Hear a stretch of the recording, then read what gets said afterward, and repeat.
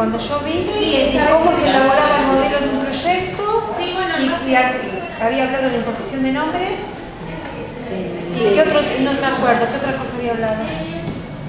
Y no, sobre el aguapé también, sobre el software.